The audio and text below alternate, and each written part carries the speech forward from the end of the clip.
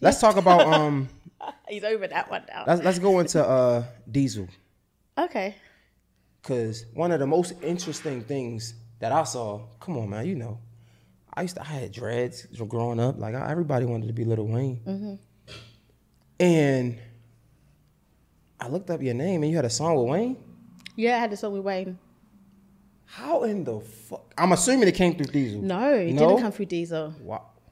Surprisingly, Talk- set the It- story it, out. should have come through Diesel, but by the time I got to the studio with Wayne, he he left. So whatever. It came ironically. I was in Jay-Z's studio in New York, working with one of his producers called eBase, and I took a picture in the studio. So weird. Let me tell you quickly. So I took a picture in the studio with me and eBase and stuff, posted it on my Facebook, and then tagged him. You know when you tag people. So when I eBase his friend, because he worked on Beyonce's album, Jay's album, Nas's album, all that shit, and we was in Jay's studio, um, this guy hit me up. He's like, "Yo, I see you tagged on eBase's thing, and you in Jay's studio. I got a song. Let me send you a bunch of records. I want you to get on a record with me."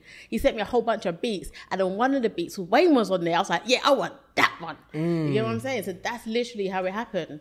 And then Wayne put it on his project. Was that the was that the power of like the mixtape back in the day? I guess Yeah, because would you, you would you think that would ever could that even happen nowadays? yeah, of course it can. It could. Yeah, of course it can because Wayne approved it. Like I sent it. Oh, so he approved it. Yeah, he put it. He released it. Wayne released it, and I didn't even know Wayne released it. So I submitted the song. I did the song, submitted it to him, and then my DJ back in England. I actually remember this day. Um, because I remember when I was walking, I was in a place called Romford walking, and my DJ hit me up. He's like, "Yo, Poni, I just got your record with Wayne." I'm like, "The song's released." He's like, "Yeah." They just sent it to me, like you know the DJ pools that they get with the you send all the DJ. I didn't even know they released the song. So did you see any like um Money? signi- both. yeah, yeah, yeah. Did you see any money? No, I got a lot of streams. I know a lot of people got the songs on. What song was it I again? actually, it's called Easy Money. How does it go? It's old. It's really Yeah, old. it's old. Um, Ease to it, man. I do it with my black shades on. Cost of my yeah. I'll I'll send it to you. I thought you were gonna set this. Come on, set the song No, out. it's Easy Money. It's a good song though. right, we'll, we'll search it up. Easy money. I think I remember. Uh, it was like Wayne had the short dreads then. I think. yeah, he and it was like he was going through like a rock stage, so it was like really heavy guitars and bass. And it was different. So you didn't meet him personally? No, but we know of each other.